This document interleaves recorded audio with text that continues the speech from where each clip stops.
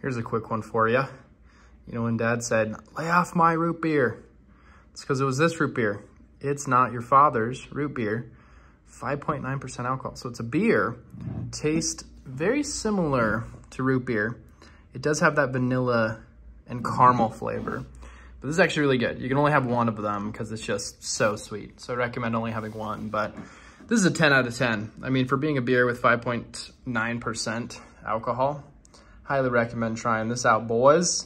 Try it out. Let me know what you guys think because your father will thank you for not stealing his root beer.